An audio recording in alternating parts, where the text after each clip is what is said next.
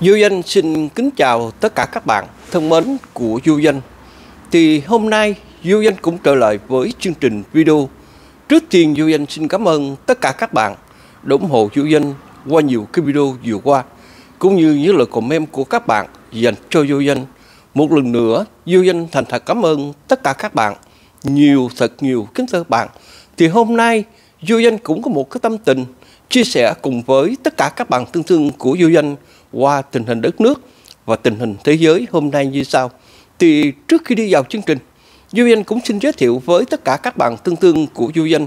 Du Danh đang đứng trong bãi đậu xe mà các bạn nhìn thấy ở bên ngoài xe chạy qua lại khung cảnh cũng rất là náo nhiệt nói đến vào mùa đông mà cảnh tượng rất là u ám buồn bã đó là giới thiệu qua khung cảnh cùng với tất cả các bạn thân thương của Du Danh cho Du Danh xin cầu chúc đến tất cả các bạn một ngày mới an lành bên người thân của chúng ta. Nói đến tin tức về tình hình chiến sự ở tại Ukraine trong 24 giờ qua, Nga đồng loạt tấn công lên tới là hơn 40 tên lửa và lẫn cả máy bay không người lái tự sát mà lực lượng quân đội Ukraine hứng chịu nói đến cảnh tượng mà Nga tấn công tên lửa vào lãnh thổ đất nước Ukraine.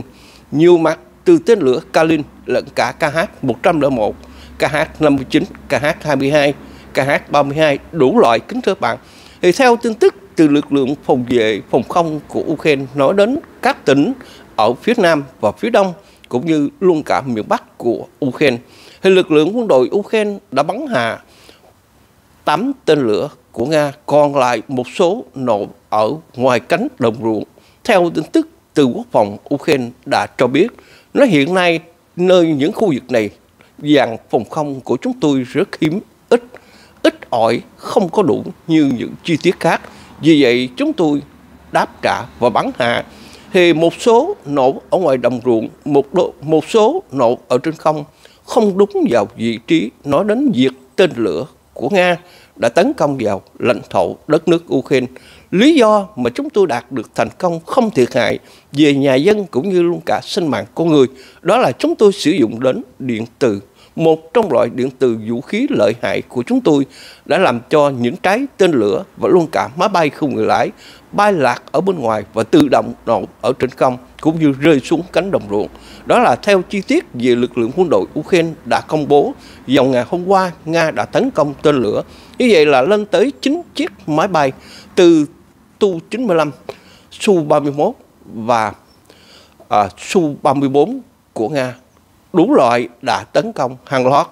Thì theo tin tức từ quốc phòng của Nga qua Bộ trưởng Bộ Phòng của Nga, ông Sugoi cũng đã lên tiếng cho biết, nói việc Nga tấn công tên lửa và máy bay không người lái tự sát vào lãnh thổ của đất nước Ukraine trúng ngay mục tiêu, kính các bạn, là bắn vào cơ sở hạ tầng, đặc biệt nhất là những công ty hãng xưởng sản xuất đạn pháo, từ đạn pháo 150 ly, đạn pháo 100 152 ly và đạn pháo 125 ly đã bị lực lượng của Nga đã dùng sử dụng tên lửa chính xác dẫn đường phá hủy hoàn toàn và luôn cả hệ thống à, của những công ty lắp ráp máy bay không người lái ở những khu vực ở à, miền Nam lẫn cả miền Đông Ukraine.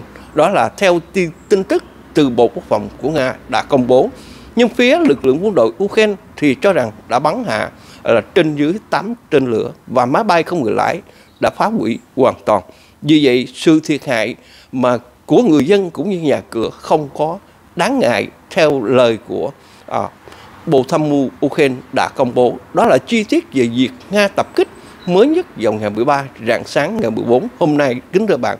Thì một trong tin tức đang sôi động hơn là phía Nga hôm nay cũng đã trưng bày nói đến việc mà lực lượng quân đội Ukraine đã bắt đầu phản công, cũng như ở tại găng gồng thành phố Zaporizhia những cuộc đụng độ đang xảy ra khốc liệt và những hình ảnh mà Nga đã trưng bày là quân đội của Nga đã đang đứng ở trên tuyến găng gồng của Zaporizhia đó là theo phía Nga đã công bố. Còn lực lượng quân đội Ukraine thì cho rằng hiện nay lực lượng quân đội Ukraine đang đạt được mục tiêu thành công. Nói đến ở khu vực mà tuyến găng gọng luôn cả những vị trí Adrianka, Kupian, Gobotine và mặt trận Bakhmut thì lực lượng quân đội Ukraine đã đạt được những vị trí quan trọng, những địa điểm mà cần thiết. Vì vậy, những tuyến phòng thủ của lực lượng quân đội Ukraine đang dựng tuyến phòng thủ và chúng tôi kiên trì để bảo vệ lãnh thổ những khu vực mà Nga tạm chiếm chúng tôi sẽ tái chiếm trở lại những ngày sắp tới. Còn việc mà Nga cho rằng lực lượng quân đội Ukraine phản công có hay không thì hiện nay chưa thấy dấu hiệu. Đó là lực lượng quân đội Ukraine phản công. Mà hiện tại dòng mùa đông khắc nghiệt với cái giá giá lạnh trừ từ 28 độ trừ trở xuống là một cái khốc nghiệt, khốc liệt chưa từng có. Mà lực lượng quân đội Ukraine phải gồng mình với cơn mùa đông này, không thể phản công, chờ đợi dòng mùa xuân của năm 2024 này bắt đầu mới có cuộc phản công. Đó là chi tiết về lực lượng quân đội Ukraine đạt công bố, cũng như nói việc Nga tấn công vào quân đội Ukraine ở các tuyến phòng thủ từ Zabivoya, Adrinka, Gobotine và mặt trận Bakhmut. Thì trong 24 giờ, lực lượng quân đội Ukraine đã rời khỏi dòng chiến 700 quân và hàng loạt khí tài quân sự của Nga từ pháo và lẫn cả xe tăng đã bị siêu hủy nhiều theo tin tức từ tư lệnh miền Đông Ukraine đã công bố. Thì tình hình hiện nay nói đến việc ở miền Bắc Ukraine thì dấu hiệu cho thấy theo tin tức từ Bộ Tham mưu ở miền Bắc Ukraine, đặc biệt nhất là tỉnh Kharkov. Hiện ngay bây giờ Nga đang có dấu hiệu để tấn công vào dọc đường biên giới giữa Kharkov và tỉnh lỵ của đất nước Nga, Bengut, kính thưa bạn. Nga đã tuyên bố là sẽ tấn công vào tỉnh Kharkov để làm bằng đạp cũng như dựng tiếng phòng thủ và ngăn chặn Ukraine tấn công bằng máy bay không người lái hay pháo binh vào tỉnh Bengut. Vừa qua với lời của ông Petko đã lên tiếng thì ngay bây giờ lực lượng quân đội Ukraine đã cho biết nói chúng tôi hiện nay đang thấy dấu hiệu là Nga đang tập trung quân sự về đây trên dưới khoảng 40.000 quân và đầy đủ khí tài quân sự lên tới 9 lữ đoàn đầy đủ của Nga, trong đó có những lữ đoàn tinh nhuệ của Nga tác chiến. Vì vậy, tình hình ở tại Kharkov, hiện tại lực lượng quân đội Ukraine đã bắt đầu ở trong cái tiếng phòng thủ ngăn chặn Nga dòng tấn công vào tỉnh Kharkov. Nếu như Kharkov thất thủ miền Bắc thì Ukraine khó có thể chống trả. Vì vậy, lực lượng quân đội Ukraine phải dùng lực để yểm trợ cũng như bảo vệ tỉnh Kharkov thì trận chiến có thể diễn ra khốc liệt trong vài ngày tới. Theo tin tức từ Ukraine đã cho biết, tình hình hiện nay, kính thưa bạn, nói đến giữa lực lượng quân đội Ukraine và Nga, chẳng hạn như ở tại miền đông Ukraine, từ Zaporizhia lẫn cả Donetsk, Kupiansk, Robotine, Adrianka, mặt trận Bakhmut thì hiện vẫn chưa phân thắng bại. Giữa hai bên 50-50, vẫn còn tiếp tục những tiếng phòng thủ và căng thẳng. Ờ, đụng độ giữa hai bên vẫn liên tục. Nhưng nhìn qua tình hình chiến sự ở tại Kupian cũng như luôn cả Gobotine thì Nga đang thất thế, tức là Nga đang rút quân nhiều nơi, những tiếng phòng thủ ác liệt mà Nga bị chịu. Các cảnh tượng giá rét ở cách đáng sợ này. Hầu như vũ khí của Nga không đạt được thành công, vì vậy Nga đành phải rút quân rời khỏi, đặc biệt nhất đó là ở khu công nghiệp, nhà máy than đốt Arirenka và luôn cả Bakhmut ở tại Marinka thì cuộc đụng độ đang diễn ra hai ngày nay mà Nga đang cố gắng để giành lại những phần đất mà lực lượng quân đội Ukraine đã đẩy lùi và Nga muốn chiếm lại nhưng không đạt được kết quả. Đó là chi tiết về tình hình ở Adrianka, Marinka cũng như à, Kupian, Gobotine. Riêng về mặt trận Bakhmut thì Nga cũng không đạt được thành công nào, mục tiêu nào đáng kể mà lực lượng của Nga đang dùng về đây để chi diện cho tình hình ở tại tỉnh Kharkov giữa mặt trận Bakhmut và Kharkov thì gần cận kế một bên cách nhau khoảng 10 cây số nhưng nếu nói tuyến đường này mà Nga để đạt được thành công thì hầu như rất khó khăn theo các báo chí bình luận đặc biệt nhất là viện nghiên cứu chiến tranh Hoa Kỳ ISW nhận định cho rằng tình hình hiện tại chiến sự của Nga thì Nga không đạt được thành công, mà Nga có thể bị kiệt quệ trong mùa xuân năm nay, đó là tin tức về tình hình chiến sự ở miền đông Ukraine kính các bạn, riêng về tình hình miền nam Ukraine thì phải nói Nga cũng không thua kém, đặc biệt nhất là cặp con sông ngàn Dnipro, mà Diêu Danh có thưa cùng với tất cả các bạn những video vừa qua. Nga tìm bằng mỗi cách, nỗ lực của Nga để đẩy lùi lực lượng quân đội Ukraine hiện đang ở bên kia con sông Dnipro. Và những cuộc tấn công của Nga đã bị quân đội Ukraine đẩy lùi, làm cho Nga thiệt hại rất là nặng nề, nổi đến ở khu vực tỉnh Kherson cũng như luôn cả Melitopol. Tình hình hiện nay, Nga ở trong cái thế là đang chủ động để tìm cách tấn công, nhưng quân số của Nga phải nói là lên tới ba bốn trăm ngàn quân là một trong con số khổng lồ tương ứng có thể hơn gấp đôi quân đội của Ukraine mà lực lượng quân đội Ukraine phải gồng mình để đáp trả những đợt tấn công của Nga. Đó là chi tiết về tình hình ở tại tỉnh Kherson cũng như Melitopol. Riêng về lãnh đạo của đất nước Ukraine, đặc biệt nhất là giới ngoại giao ông Kuleba. Ông vừa lên tiếng hôm nay nói đến việc Anh Quốc và Ukraine đã ký kết hợp tác an ninh và sau đó thì bây giờ đến lượt Pháp.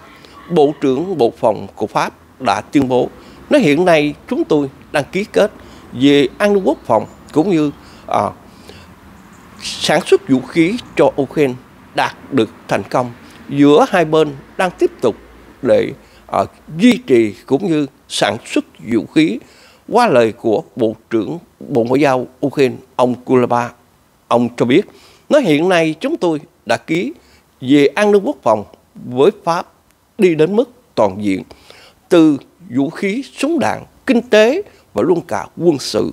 Vì vậy việc mà chúng tôi phản công không cần phải khó khăn trong năm 2024 hiện tại mà Liên minh châu Âu đã hỗ trợ cho chúng tôi đó là theo lời của ông à, Ngoại trưởng Ukraine Kuleba và Pháp cũng tương tự hai bên đã thỏa thuận ký về hiệp ước quốc phòng hai bên.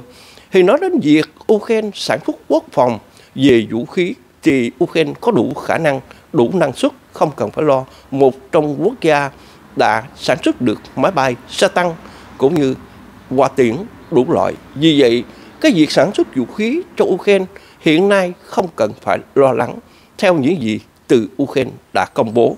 Riêng về Bộ Quốc phòng Ukraine đã cho biết nói đến việc mà Nga tấn công vào lãnh thổ đất nước Ukraine từ năm 2022 vào ngày 24 tháng 2 cho đến nay thì đã chuẩn bị bước sang năm thứ ba. Nga đã dùng vũ khí hóa học tấn công vào quân đội của Ukraine, lãnh thổ của đất nước Ukraine lên tới 600 lượt, đủ loại với những loại vũ khí tinh vi của Nga là vũ khí hóa học để tấn công vào lực lượng quân đội Ukraine. Chúng tôi đã phá hủy nhiều mục tiêu và có bằng chứng cụ thể về vũ khí hóa học hiện đại mà Nga đã lắp ráp ở trong các trái tên lửa rocket và luôn cả loại vũ khí đó là quả ngục của Nga như SOT 1, SOT 2, một trong những loại rocket ở tầm bắn lên tới 150 cây số. Ở tầm xa của nó là mang đạn phosphor cũng như đủ loại. Đó là chi tiết về Bộ Phòng Ukraine đã công bố. Thì hiện nay, về việc quân đội Ukraine chuẩn bị một đợt phản công sắp tới, vào mùa xuân, có hay không, hay là vẫn là ở trong cái tư thế chờ đợi về nhiều khí tài khác kính thưa bạn, riêng về bộ quốc phòng của Ukraine, một trong cấp chỉ huy thuộc phòng không quân đang yêu cầu Hoa Kỳ hỗ trợ cho trường kích A10 để hỗ trợ bộ binh một trong các loại trường kích A10 tối tân mà Hoa Kỳ đã cho về giường hiện nay lên tới gần 40 chiếc thì Hoa Kỳ chưa có lên tiếng nhưng ngược lại một điều là giới chức của Ukraine cho rằng chúng tôi bắt thông tin đó vì trường kích A10 không đạt mục tiêu mà mục tiêu của chúng tôi đó là F-18 và F-16. Nếu như có hai loại vũ khí này, chúng tôi đạt được thành công để giành lại lãnh thổ đất nước Ukraine trong năm 2024 hiện nay mà các báo chí đang bình luận. Thì việc hỗ trợ F-16 cho Ukraine thì đã có Hòa Lan cũng như Đan Mạch nhưng Đan Mạch thì cho rằng hãy chờ đến thời gian sắp tới khi chúng tôi nhận được F-35 thì chúng tôi sẽ giao cho Ukraine toàn bộ máy bay F-16. Đan Mạch thì không có nhiều trên cơ bản chỉ có 4 phi đội. Vì vậy là cái số máy bay F-16 của Đan Mạch không bằng của Hòa Lan. Hòa Lan thì có nhiều và Hòa Lan tuyên bố sẽ hỗ trợ cho Ukraine từ 16 chiếc trở lên. Nhưng hiện tại Ukraine cũng chưa có loại vũ khí này. Một trong loại máy bay F-16 mà Nga đang hốt hoảng hôm nay, lo sợ rằng khi Ukraine có F-16 là đối thủ có thể là đáng gồm là với Su-34, Su-35 của Nga cũng như Mi-21 vì từ động cơ và luôn cả sự thao tác của nó và dàn radar. Vì vậy giữa hai bên vẫn còn đang chờ đợi và tranh luận cũng như Ukraine bao giờ có F-16 để phản công. Đó là tin tức đặc biệt về tình hình ở tại Ukraine, kính thưa bạn. Thì chúng ta cũng quay trở lại tin tức tại Nga nói về tình hình đất nước Nga. Nhiều chi tiết mà giới chức của Nga đã lên tiếng hôm nay. Nhưng điều đặc biệt nhất nói đến một trong khu thương mại à, ở tại San Petersburg bốc cháy dữ dội. Ây cha, tại sao mùa đông của nó mấy chục độ trừ trái mùa hoài hướng thưa bạn. Cái chuyện hơi bị lạ cho đất nước Nga chưa từng có. Sự thiệt hại theo tin tức mà Nga đã công bố cho biết nói sự cháy rủi này thì sự thiệt hại lên tới là hàng chục triệu đô la từ hàng hóa cũng như công ty hãng trưởng, mọi thứ dân dân đó là một trong sự qua hoạn ở tại San Petersburg và tin tức thứ hai nói đến việc quân đội của Nga đào ngũ và ở tại Adinka thì theo tin tức báo chí độc lập ở tại đất nước Nga đã công bố cho biết nó gì hà khắc vì lạnh lẽo và không đủ trang thiết bị cũng như quân đội của Nga xem những người lính là rẻ mạt không có giá trị nào. Chết bao nhiêu chết, sống bao sống. Vì vậy, họ không chịu đựng được cái hà khắc về rát rét mùa đông. Không chịu đựng được cái sự cưỡng bức của cấp chỉ huy họ đào ngũ hàng loạt. Thì vừa qua du danh có thưa cùng với tất cả các bạn nói đến lực lượng quân đội của nga đã đầu hàng lên tới hàng trăm người trong vòng một tháng. Thì bây giờ, theo tin tức từ quân đội Ukraine đã cho biết là tiếp tục lính của Nga đầu hàng.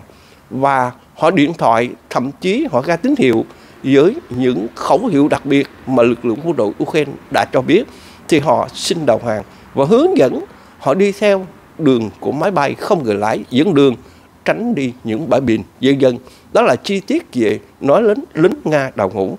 Thì quân đội của Nga sẽ ra sao?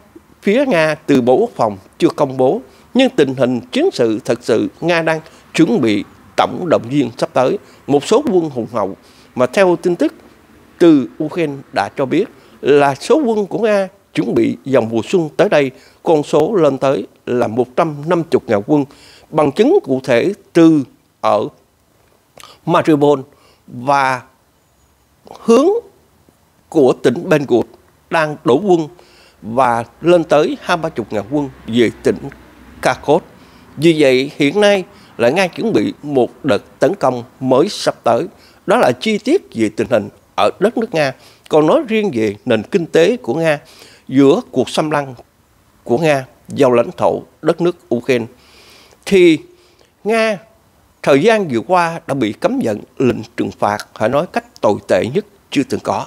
Thì ngay bây giờ, Nga cho rằng nền kinh tế của Nga và Tàu Cộng đã đạt đến mức là 240 tỷ đô la là một trong con số khổng lồ. Vì vậy, Nga không phải khó khăn về kinh tế của năm 2024. Nhưng nếu nói về vấn đề kinh tế mà Nga bị lệ thuộc vào Tàu Cộng, thì tin tưởng rằng người dân của Nga sẽ đột quỵ nhiều hơn nữa với ăn chất độc của Tàu Cộng. Vì giữa hai kẻ thù không thể nào sống chung với nhau và nhiều chi tiết khác, cũng như Nga hôm nay đã lên tiếng với các báo chí về đề cập đến vấn đề chiến sự ở tại Ukraine và bác bỏ những thông tin là Nga xâm lăng vào lãnh thổ đất nước Ukraine. Nhưng bằng chứng cụ thể là Nga xâm lăng là lấy bốn tỉnh lỵ của đất nước Ukraine lẫn cả đảo Crimea mà Nga cho rằng đây là cuộc trưng cầu dân Ý bốn tỉnh lỵ này. Người dân của Ukraine muốn sát nhập vào đất nước Nga. Vì vậy, họ không có xâm lăng mà là họ ăn cướp kính thưa bạn, nói đến chuyện mà các báo chí đã bình luận à, với lời của Bộ Ngoại giao của Nga, đặc biệt nhất là ông Lavrov với giọng điệu hùng hậu của ông cũng như cái mặt giống như con khỉ đột khó có thể mà ưa được. Nhưng cuộc bầu cử của Nga trong năm 2024 này thì sao? Theo các báo chí bình luận là không có nhân vật nào lọt qua Putin vì Putin đã sắp xếp tất cả mọi thứ và cuối cùng Putin sẽ ngồi lại nhiệm kỳ 3.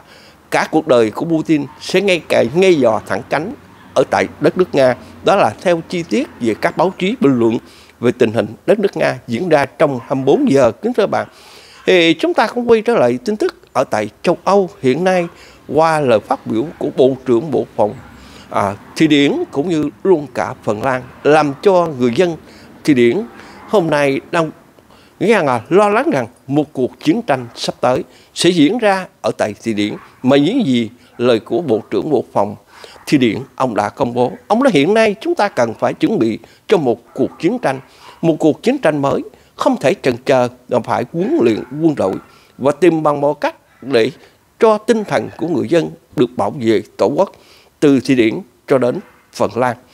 Thì người dân lo sợ rằng cuộc chiến tranh ở vùng biên giới giữa Thụy Điển, Phần Lan với Nga đang cận kề trước mắt không tránh khỏi. Nhưng mà những quốc gia như là giàu có thì hơi bị ớn kính thưa bạn nhưng ngược lại ba quốc gia ở vùng Baltic thì lại khác. Họ đang chuẩn bị cho cuộc chiến đó. Và họ sẵn sàng luôn cả người dân của ba quốc gia ở vùng Baltic. Lúc nào cũng sẵn sàng đương đầu với người Nga. Và người Nga hiện đang ở ở những người xin tị nạn ở tại Litva, Estonia và uh, Tunisia kính thưa bạn thì họ rất là kiên cường nói đến là việc mà Nga nếu như tấn công thì người Nga ở đây họ sẵn sàng gia nhập vào quân đội của ba quốc gia này theo các báo chí bình luận. Còn về Belarus thì sao? Cũng như cuộc tấn công của Nga vào ngày hôm qua và những tác tên lửa bay gần đến ở Phần Lan, ở à, xin lỗi, Ba Lan và Belarus cũng như Ukraine đang giáp cận kề. Thì quân đội của Ba Lan đang đặt ở trong tình trạng chiến đấu và Tổng thống Ba Lan ông cho rằng tình hình chiến sự ở tại Ukraine càng lúc càng phức tạp, đặc biệt nhất là với vũ khí hiện đại ngày hôm nay, chúng ta cần phải đặt ở trong tình trạng chiến đấu và sẵn sàng đáp ứng nếu như tên lửa của Nga lọt vào lãnh thổ của đất nước Ba Lan. Ba Lan sẽ đáp trả Nga ngay lập tức, không cần chờ đợi cũng như không cần phải lo lắng theo những gì mà Tổng thống Ba Lan ông đã công bố. Riêng về Pháp thì Bộ trưởng Hồn Pháp đã à, tuyên bố về hợp tác quốc phòng toàn diện là với Ukraine cũng như về an ninh mà theo lời của Tổng thống Zelensky ông đã tuyên bố ông đang làm việc với nhiều quốc gia khác để hỗ trợ và bảo vệ cho Ukraine tương lai tới và không để cho Nga tấn công tên lửa và lẫn cả vũ khí à, hạt nhân vào lãnh thổ đất nước Ukraine trong năm 2024 đang diễn ra cũng như tình tiết của nó đang rất là sôi động. Đó là tin tức đặc biệt về tình hình ở tại à, châu Âu hôm nay kính thưa bạn. Thì chúng ta cũng quay trở lại tin tức ở tại Trung Đông từ lực lượng Houthi, Hoa Kỳ và Iran cũng như Hezbollah như sau. Kính thưa bạn thì đầu tiên vô danh muốn thưa cùng với tất cả các bạn sau khi Hoa Kỳ đã tập kích vào lãnh thổ của đất nước Yemen và phá hủy cơ sở hạ tầng kho vũ khí của lực lượng Houthi thì Houthi hôm nay đã tuyên bố là sẵn sàng đối đầu với Hoa Kỳ trực diện và tấn công vào cơ sở quân sự của Hoa Kỳ từ Iraq và lẫn cả Syria. Ây cha lên di cốt chơi nóng và người dân Yemen bắt đầu xuống đường biểu tình và yêu cầu Hoa Kỳ phải rời khỏi Biển Đỏ, rời khỏi những khu vực mà ở của lãnh thổ đất nước Yemen. Tình hình hiện nay nói đến xứ Hồi giáo, đặc biệt nhất là Yemen. Kính thưa bạn, đã hùng hậu và tấn công vào tàu chở hàng của đường hàng hải quốc tế, làm cho Hoa Kỳ và Anh Quốc bắt buộc phải mở đợt tấn công mà những tối hậu thư Hoa Kỳ, Anh Quốc đã từng nêu ra thì mới tấn công lần thứ hai thôi. Hầu như lực lượng Houthi đang bị tan rã. Nói về mặt vũ khí, nhưng bị vẫn còn nổ, kính thưa bạn. Ở ngang là bỏ chạy mà còn kênh. Nói đến lực lượng Houthi bỏ chạy mà còn kênh. Ờ, vừa qua thì lực lượng Houthi đã tuyên bố bắn hạ máy bay của Hoa Kỳ và cả Anh Quốc thì tin tức đó hầu như là tin tức dỗm và họ chỉ nói vừa để gỡ gạt những cái gì họ đã thất bại thì đồng loạt ngay bây giờ nói đến là Iran Iran đang lên tiếng yêu cầu lực lượng Houthi và Hezbollah hãy ngồi yên và đừng bao giờ chống cự đừng bao giờ đáp trả với Hoa Kỳ nếu như một sự đáp trả nào đó thì sẽ dẫn đến sự thiệt hại của uh, lực lượng Houthi và lực lượng Hezbollah. Iran đang hoảng sợ, lo sợ rằng nghĩ rằng là quay tới quay lui để rồi đụng chạm tới Iran và cuộc chiến mà Hoa Kỳ cũng như Anh Quốc luôn cả Liên minh NATO đặt trọng tâm hôm nay không phải là lực lượng Houthi hay là lực lượng Hezbollah, đây chỉ là một nhóm nhỏ, mà chính chắn hơn đó là ghim thẳng vào Iran vì vậy Iran hoảng sợ, vì Iran đang đứng phía sau chủ mưu cho ba nhóm này. Một là Hamas, hai Hezbollah ba lực lượng Houthi với những vũ khí từ tên lửa rocket cũng như đạn nhọn hay súng phóng lựu đều là của Iran chiếm như vậy lên tới 60% và còn lại là Nga cũng như của Tàu Cộng dân dân. Vì vậy Iran đang hốt hoảng nếu như để cho lực lượng Houthi và luôn cả Hezbollah tiếp tục tấn công vào căn cứ của Hoa Kỳ cũng như bắn vào à, hạm đội của Hoa Kỳ tức là chẳng khác nào chọc đến Hoa Kỳ nổi giận. Rồi cuối cùng là cuộc chiến sẽ di chuyển về Iran vì vậy Iran hốt hoảng và kêu gọi hãy chấm dứt ngay hành động quân sự cũng như những cuộc khiêu khích tấn công vào Hoa Kỳ. Dân dân theo uh, giới chức của Iran đã thông báo về quân đệ với nhau kính các bạn quân đệ hồi giáo với nhau chết sống của nhau. Nhưng bằng chứng cụ thể cho thấy là Iran đang hốt hoảng sợ và bỏ rơi quân đệ của mình không dám cho để những cuộc tấn công mới vào buổi ban đầu Iran lên tiếng hùng hậu là sẵn sàng cho với hai lực lượng này và luôn cả Hamas sẽ tiếp tục tấn công vào hạm đội của Hoa Kỳ, đặc biệt nhất là Biển Đỏ. Thì tình hình Biển Đỏ hiện nay vẫn ở trong cái tư thế là báo động. Tất cả các hàng hải không ai dám qua lại hết. Biển Đỏ trở thành biển chết dân dân.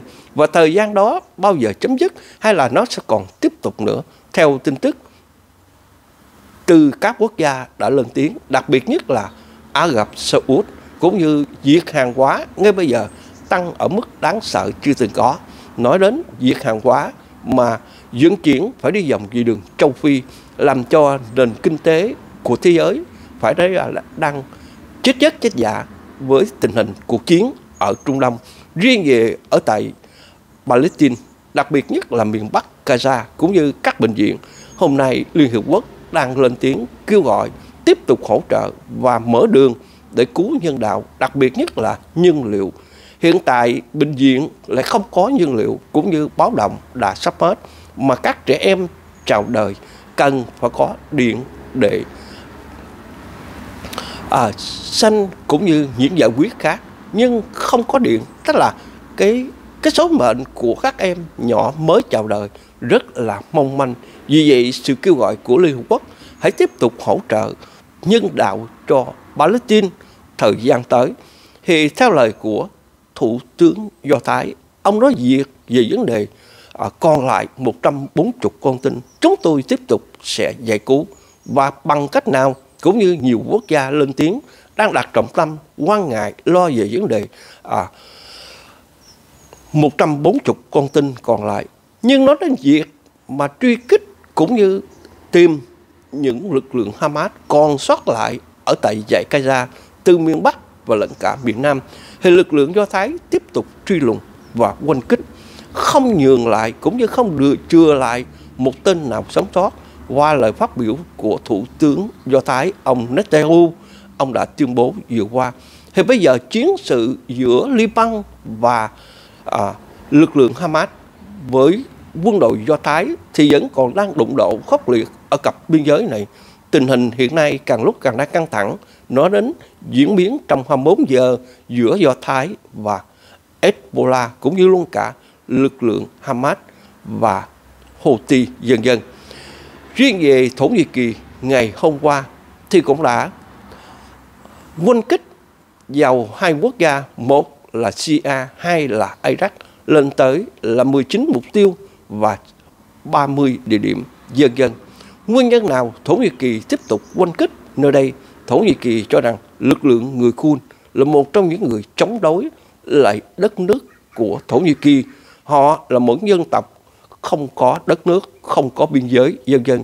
Họ sống nhờ vào cặp đường biên giới giữa Iraq và Syria mà lực lượng này là đứng ở phía sau là Hoa Kỳ hỗ trợ từ vũ khí cho đến lương thực và mọi mặt khác.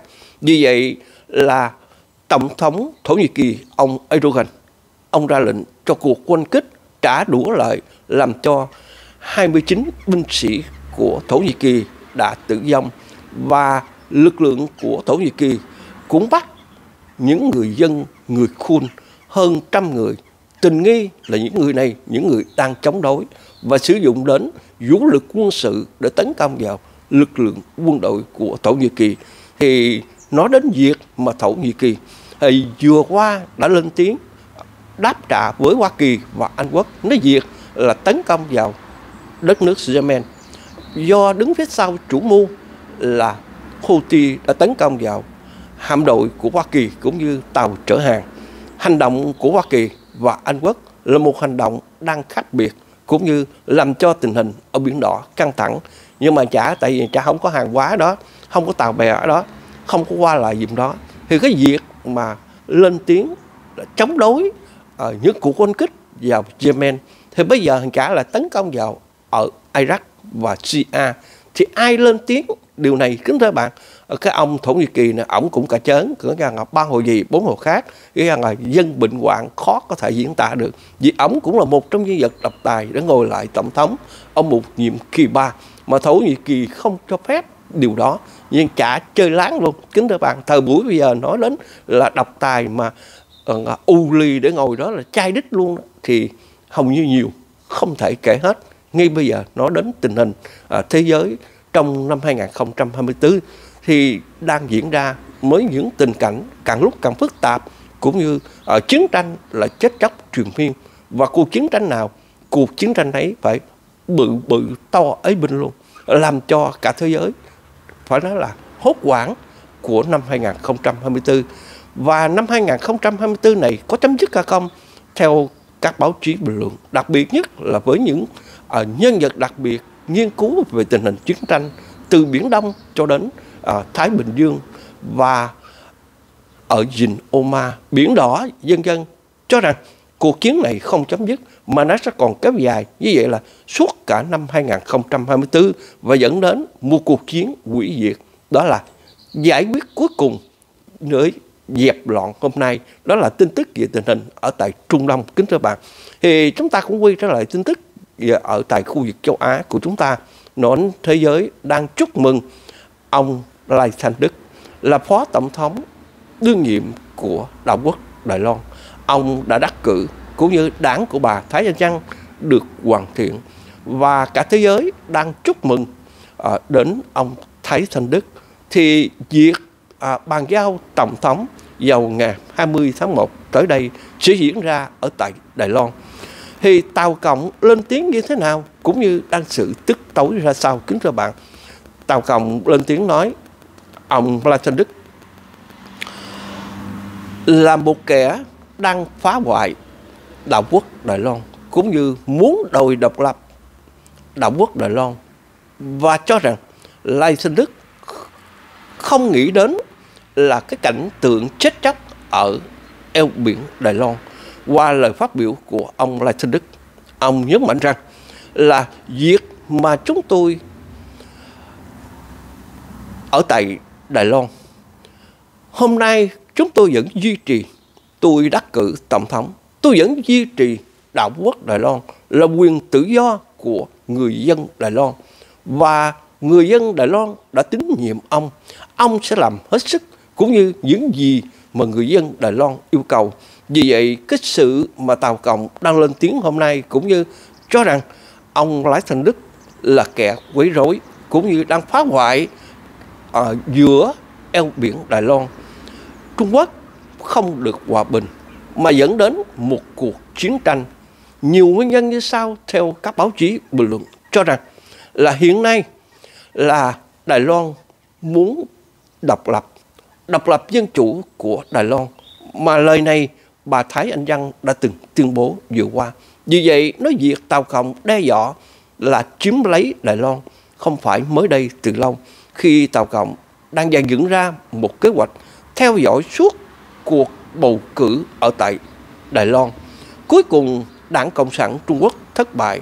Vì vậy, đổ lỗi cho ông Thái Anh Đức là ông là kẻ quấy rối, đe dọa đến cử tri và không cho bầu cử thân là giới Tàu Cộng cũng như đảng ông Mã Anh Cũ dân dân, nhiều tình tiết ở tại Đài Loan đang diễn ra mà Tàu Cộng đang tức tối, trả đũa lại tân tổng thống của Đài Loan, ông Thái Thanh Đức. Kính ông lại Thanh Đức, kính thưa bạn, thì tình hình hiện tại nói đến việc người dân Đài Loan, người ta đã thấy rõ về Tàu Cộng đã xâm lăng, cũng như mục tiêu của Tàu Cộng là muốn trở thành một quốc gia hay thể chế đặc biệt nhất là Đài Loan, giống như Hồng Kông.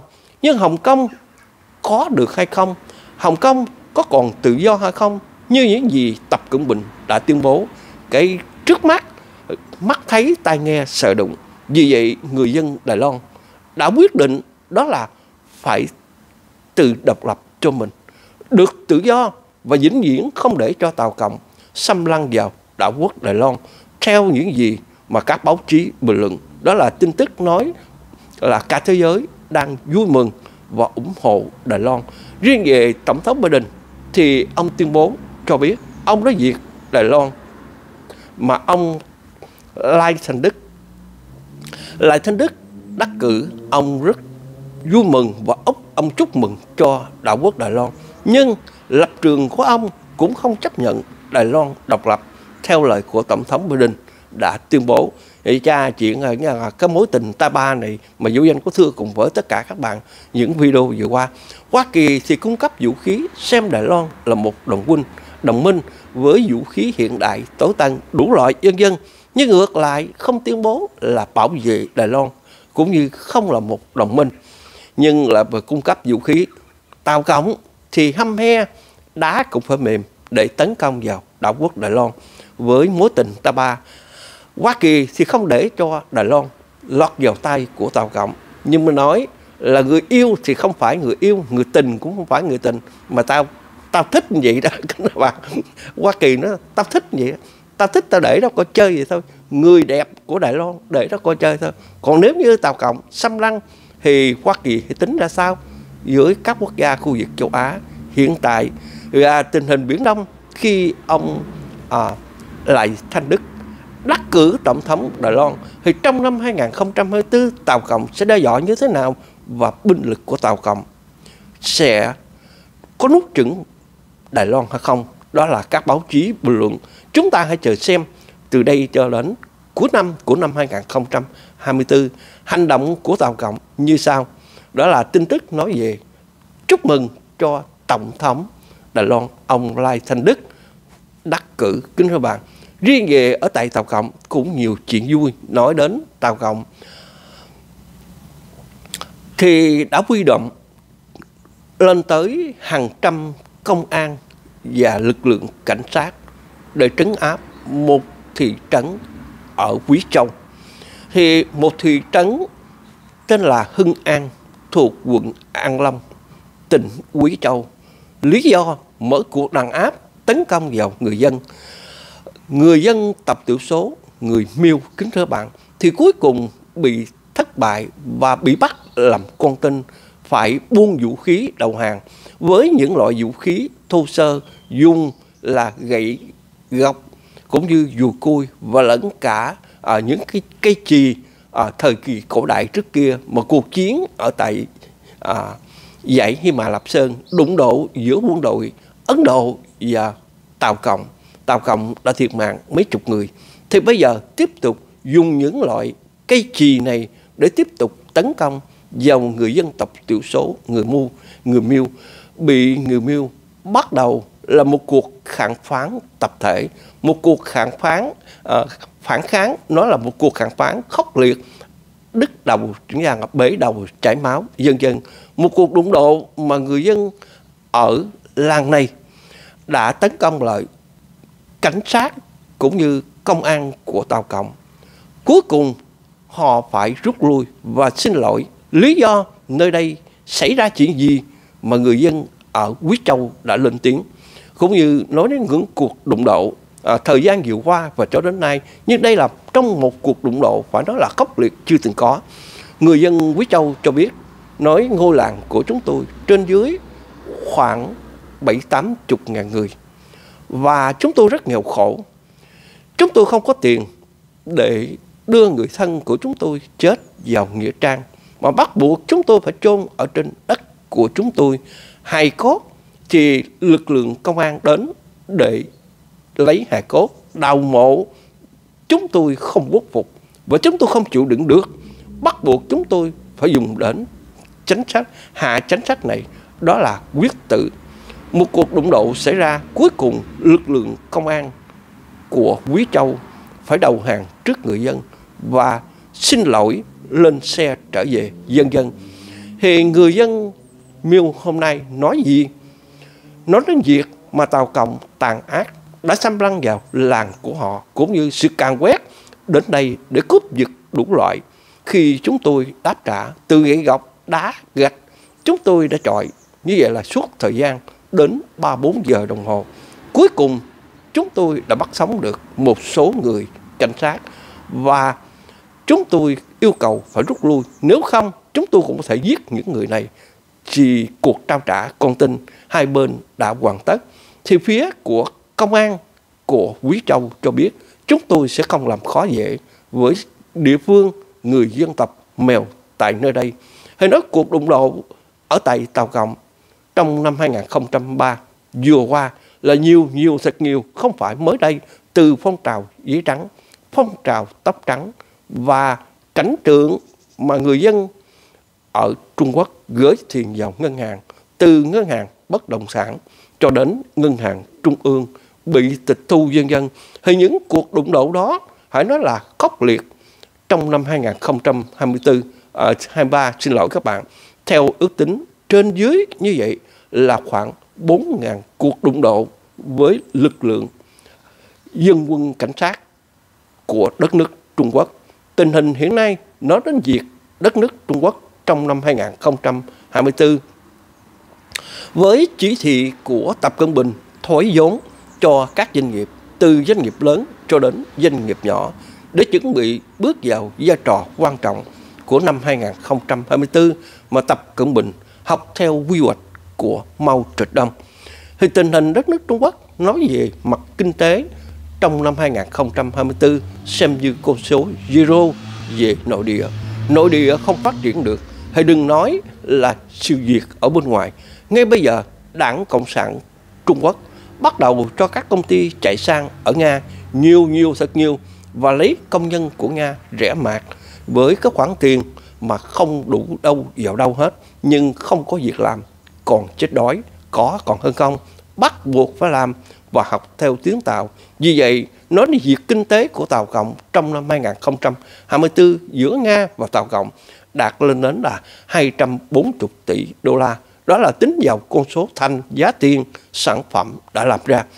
Nhưng tương lai của đất nước Nga thì sao? Và luôn cả Tàu Cộng. Tình hình hiện nay trong năm 2024.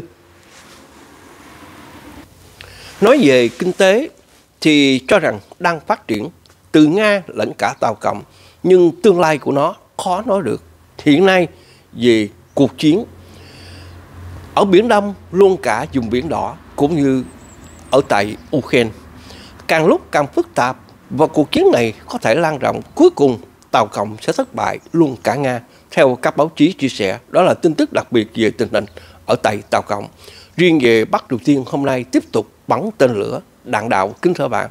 Theo quân đội của Hàn Quốc đã cho biết là Tàu Cộng, à, xin lỗi, Bắc Triều Tiên đã bắn tên lửa ra Biển Đông và khu vực vùng biển giáp Nhật Bản và tình hình hiện tại nói sự căng thẳng à, vào thời điểm hiện nay mà Kim Jong đang quấy động lên à, một cuộc chạy đua vũ trang từ tên lửa đạn đạo cho đến vũ khí hạt nhân làm cho tình hình khu vực châu Á phải càng lúc càng căng thẳng ở mức tột đỉnh chưa từng có.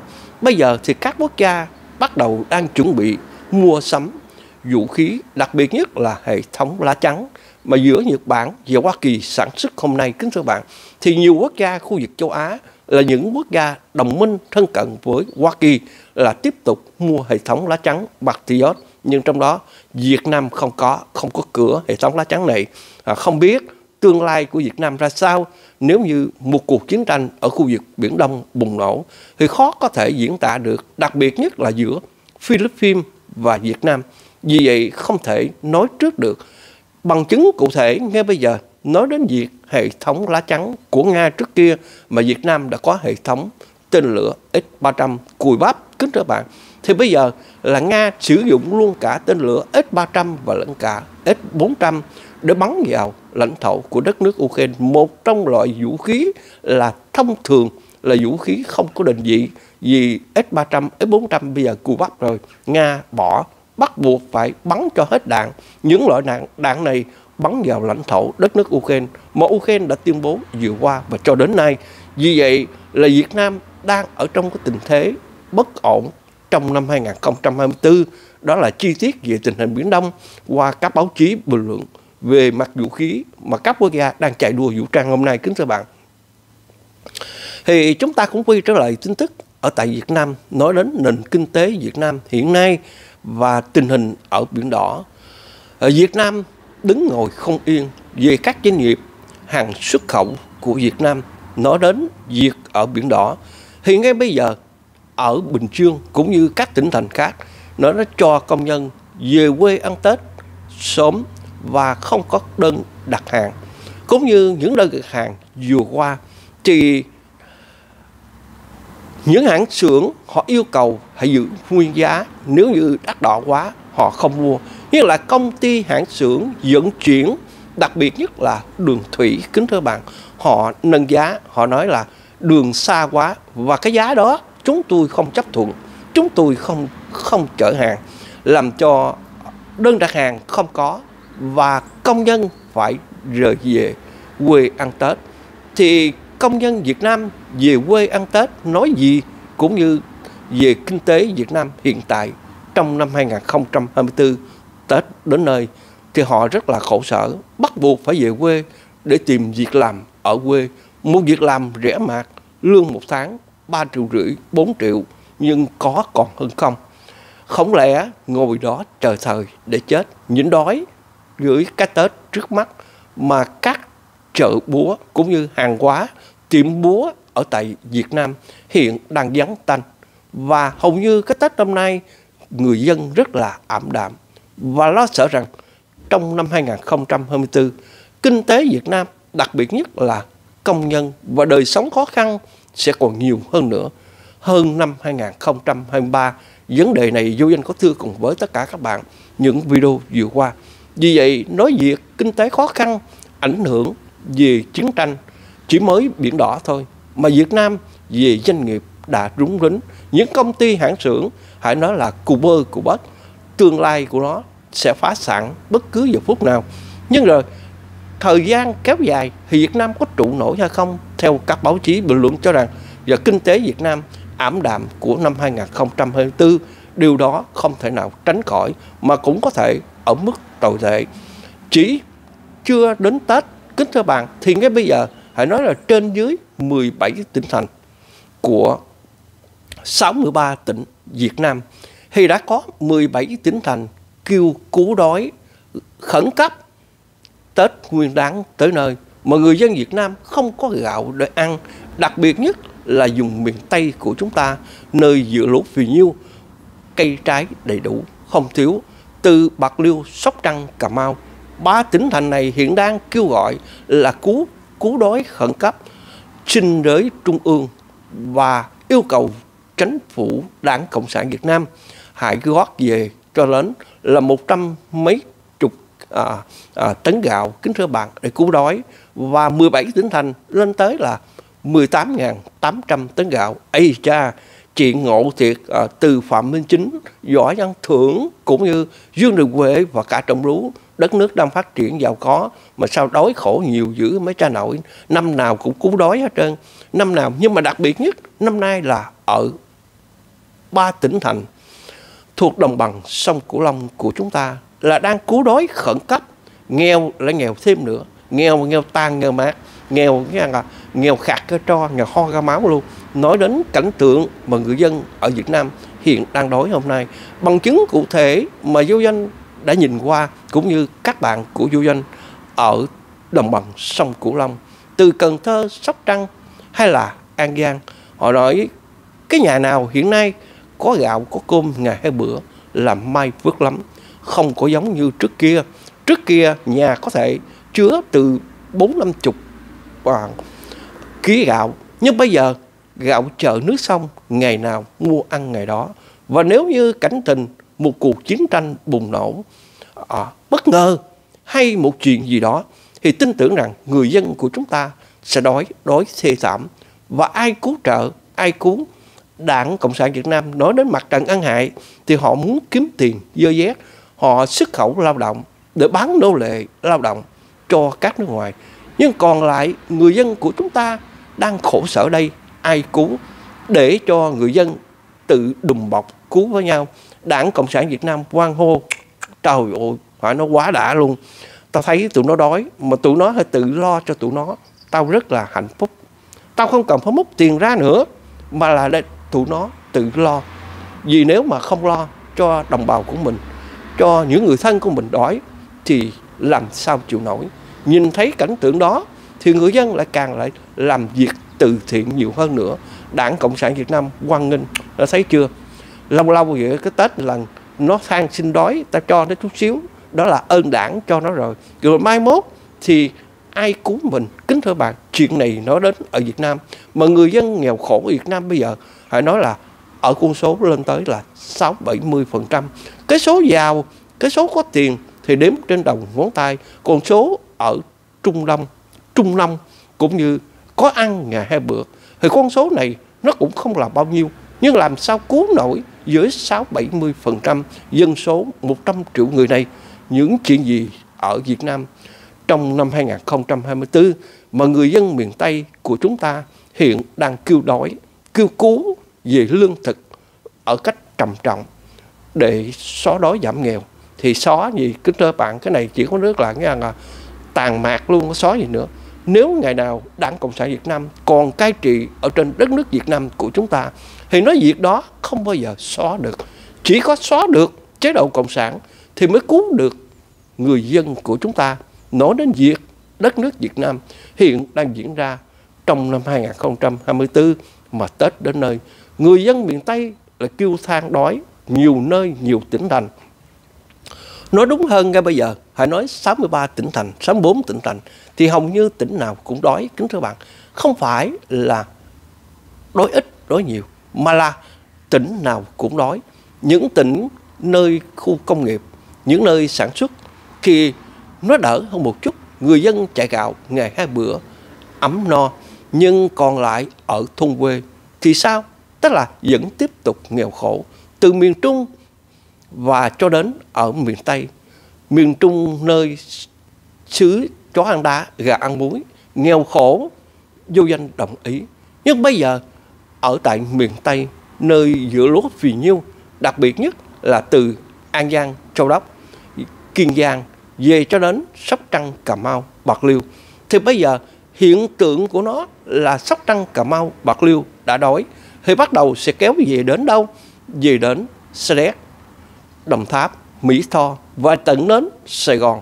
Điều này sẽ diễn ra thời gian gần nhất đó là theo các báo chí bình luận về tình hình nạn đói ở đất nước Việt Nam mà người dân đang kêu than hôm nay kính thưa bạn. Dân thì vô danh hôm nay có bao nhiêu cái tâm tình chia sẻ cùng với tất cả các bạn thân thương của vô danh. Vô danh xin kính chúc sức khỏe các bạn khỏe mạnh. Hẹn gặp nhau tại Sài Gòn.